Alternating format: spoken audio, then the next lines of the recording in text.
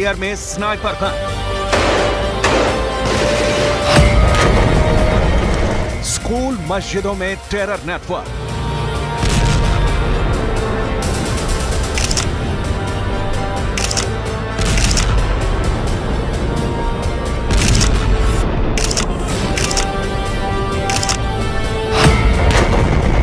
Hamas की खौफनाक साजिश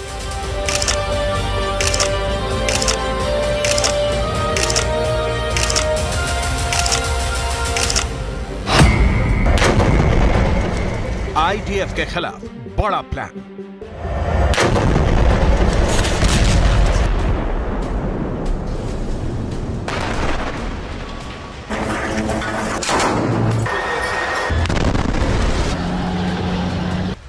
गाजा में हमास का रिएक्शन देख इजरायली सेना के होश उड़े हुए हैं।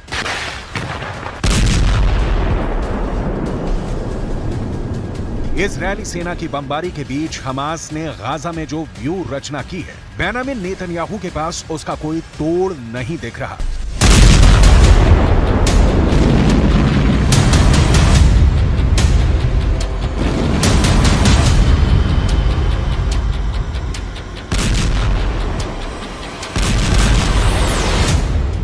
इजरायली सेना जिस ओर मूव कर रही है, हमास ने उस रास्ते में बम फिट कर दिया है।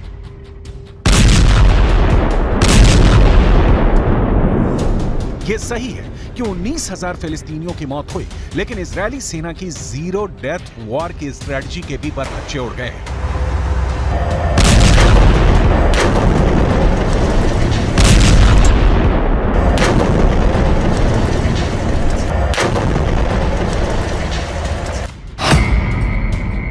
हमास के ज़बरदस्त प्रतिक्रिया की वजह से ही 27 अक्टूबर से, यानी जब से इसराइल ने गाजा में जमीनी हमले शुरू किए हैं 121 इजरायली सैनिकों की मौत हो गई है। ये आंकड़ा हमास ने नहीं, बल्कि इसराइली सेना ने ही जारी किया है।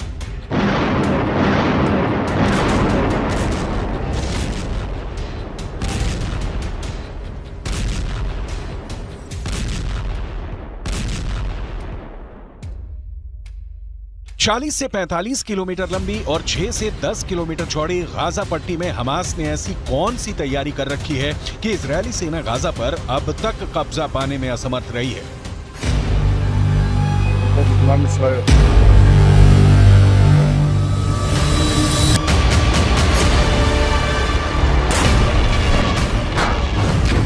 हमास ने ऐसे कौन से हथियार जुटा रखे हैं जिसका जवाब इजरायली सेना के पास नहीं है?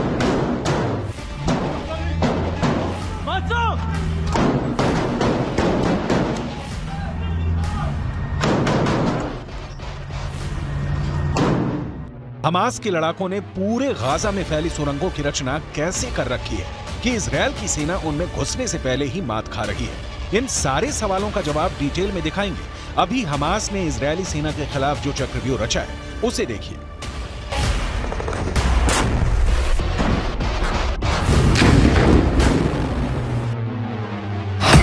हमास नए नए तरीकों से आईडीएफ के जवानों पर हमले कर रहा है। हमास के आतंकियों ने गोलियों के अंदर बम भरकर उसमें रोने की आवाज़ निकालने वाले स्पीकर लगा दिए हैं।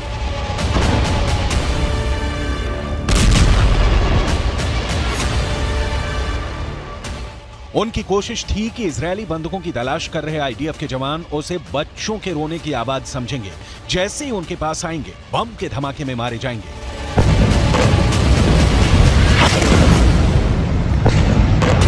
लेकिन हमास डाल डाल खेल रहा है तो इसराइल पात पात इसराइल इंटेलिजेंस यूनिट ने इस साजिश का पता लगा के अपने जवानों को अलर्ट कर दिया, जिसके बाद डिस्पोजल स्क्वाड ने उन्हें निष्क्रिय कर दिया।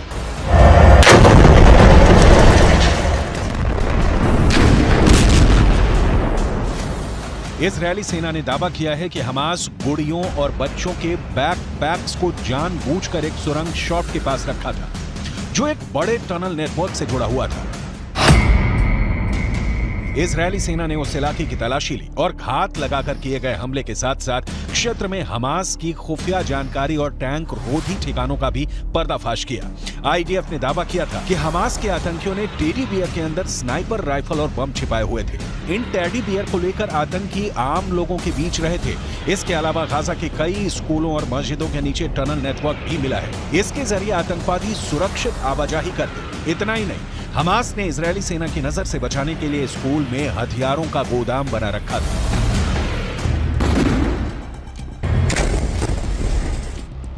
हमास के पास बिना शक इसराइल वाला वेपन पावर नहीं है, लेकिन हमास के पास हथियारों में घरेलू रॉकेट अपग्रेडेड एके 47 और सोवियत संघ के दौर के मशीन गन के अलावा कई सस्ते, नए और चोरी किए हुए हथियार हैं। कई ऐसे एडवांस हथियार भी मिले हैं जिनकी सप्लाई ईरान ने की। तो कुछ ऐसे हैं जिनका निर्माण उत्तर कोरिया में किया गया। ये जानना भी बेहद दिलचस्प है कि हमास की पसंदीदा राइफल कौन सी है? सोवियत दौर में निर्मित सात दशमलव छह दो मिलीमीटर कैलिबर वाली A K forty seven assault rifle Hamas का सबसे पसंदीदा हथियार है।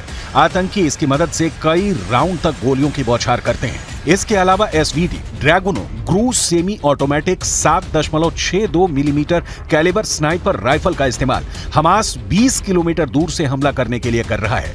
हमास के ट्रक भारी machine gun M two Browning H M G से लैस हैं। ये पैदल सेना हल्के बख्तरबंद वाहनों और कम उड़ान वाले विमानों को आसानी से निशाना बना सकते हैं। ये समझना बहुत ज़रूरी है हमास जैसे संगठनों के पास जो भी हथियार हैं, वो या तो ईरान से आए हैं, या हमास ने स्मगलिंग से उसे मंगाया है, या सोवियत दौर के हैं। इन हथियारों से हमास इसराइल को नुकसान तो पहुँचा रहा है। 9 किलो वाला RPG 7 rocket propelled grenade launcher Hamas का फेवरेट है। ये काफ़ी सस्ता और उपयोग में आसान है। सोवियत संघ का बना यह हथियार कंधे पर रहता है और एक ट्यूब से रॉकेट दागता है। ये रॉकेट आसानी से 200 से 700 मीटर की दूरी पर मौजूद टैंकों को आसानी से तबाह कर सकता है।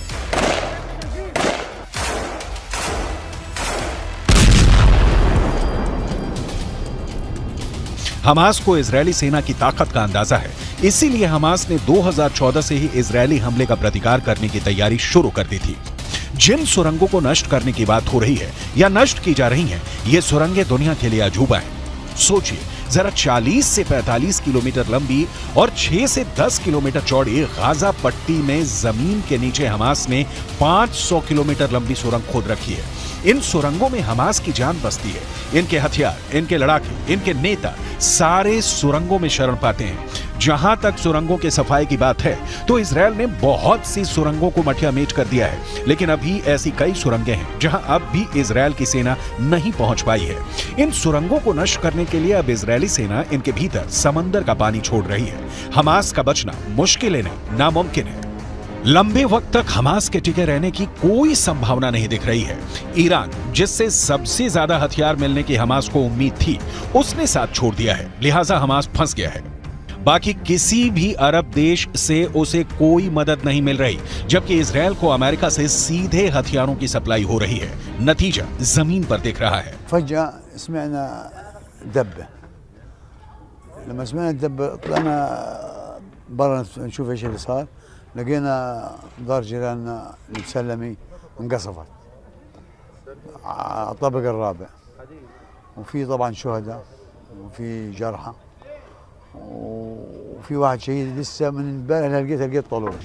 इसराइल की ओर से ताबड़तोड़ हवाई हमलों ने गाजा के कई शहरों को खंडहर में तब्दील कर दिया है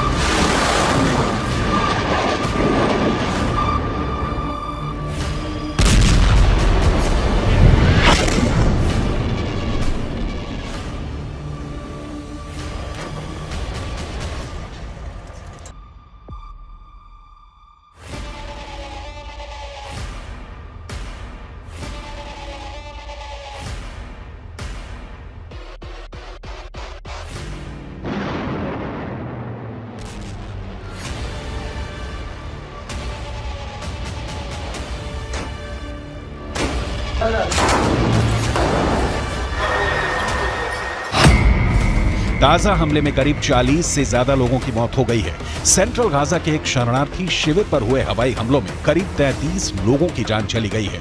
इनमें 14 महिलाएँ और चार बच्चे शामिल थे। रफा शहर में हवाई हमलों में करीब आठ लोगों की मौत हो गई है।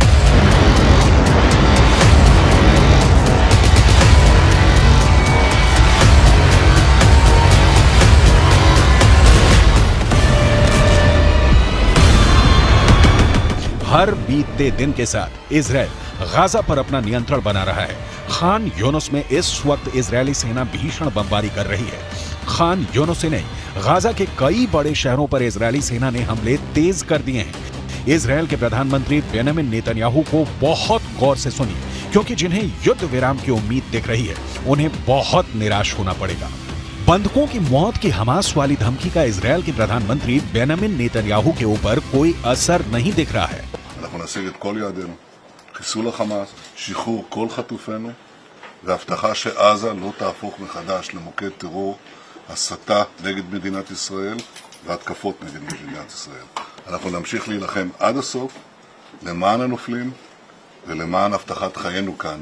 इसराइल फिलिस्तीन की जंग देखते देखते कई पीढ़ियाँ गुजर गई, लेकिन 2023 में जिस तरीके से युद्ध छिड़ा है उसने तबाही की नई कहानी लिख दी है। इसराइल इस इरादे के साथ मैदान में उतरा है कि हमास के अंतिम आतंकी के ज़िंदा रहने तक गोली चलाते रहना है। जबकि हमास इसकी कोशिश कर रहा है कि बीते सालों की तरफ़ बंधकों के नाम पर वो युद्ध विराम करवाएगा, संयुक्त राष्ट्र में आवाज़ उठाएगा और विश्व बिरादरी से इसराइल पर दबाव बनवाएगा कि वो हमास पर हमला नहीं करे। हमास की ये कोशिश आंशिक रूप से रंग भी ला रही है। अमेरिका ने इसराइल को दो टूक कहा है कि हमास के आतंकियों को मौत की नींद सुलाने के दौरान ये ख्याल रखा जाए कि किसी आम फिलिस्तीनी की इसमें मौत ना हो। लेकिन युद्ध में इसराइल इस कदर उलझा हुआ है कि अपनों तक को पहचानने में इसराइली सेना से भूल हो रही है। इन तीन युवकों को हमास ने 7 अक्टूबर को बंधक बना लिया था। इजरायली सेना ने गाजा पर हमला किया तो पहचान की संकट के कारण इन तीनों को गोली मार दी। हालाँकि इजरायली सेना ने अपनी गलती कबूल कर ली है, लेकिन युद्ध में ऐसी गलती की संभावना लगातार बनी रहती है। सवाल, फिर युद्ध कहाँ जाकर रुकेगा? और 22 लाख फिलिस्तीनियों के भविष्य का क्या होगा? इस सवाल का जवाब नेतन्याहू के पास नहीं है, क्योंकि इसकी तैयारी में अमेरिका जुट गया है। जो बाइडन का कहना है कि वो एक नई फिलिस्तीनी प्राधिकरण देखना चाहते हैं, जिसे महमूद अब्बास 2005 से चला रहे हैं। बाइडन चाहते हैं कि संघर्ष समाप्त होने के बाद नई फिलिस्तीनी प्राधिकरण गाजा में कार्यभार संभाले। गाजा में आखिरी बार चुनाव 2006 में हुए थे। इस चुनाव में हमास को जीत मिली थी। लेकिन हमास ने सरकार बनाते ही महमूद अब्बास की फतेह पार्टी के नेताओं के खिलाफ हिंसा शुरू कर दी थी। इस हिंसा में फिलिस्तीनी प्राधिकरण और फतेह के हज़ारों कार्यकर्ता मारे गए। इस हिंसा के बाद महमूद अब्बास ने हमास के प्रमुख इस्माइल हानिया को पद से हटा दिया था। लेकिन हानिया ने इससे इनकार करते हुए फिलिस्तीनी प्राधिकरण से अपना रिश्ता तोड़ लिया था।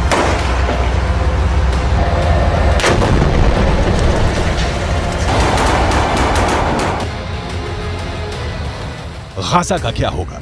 ये तभी तय होगा जब युद्ध समाप्त होगा या युद्ध विराम होगा। और ये दोनों सूरतें फ़िलहाल तो कम से कम नहीं देख रहे हैं। हाँ एक बात जो अब तक युद्ध के दौरान देखी गई, वो ये कि अरब वर्ल्ड का कोई भी देश हो, हमास के साथ ज़मीन पर युद्ध लड़ने के लिए तैयार नहीं है। ना ही खुलकर मदद देने के लिए राज़ी है।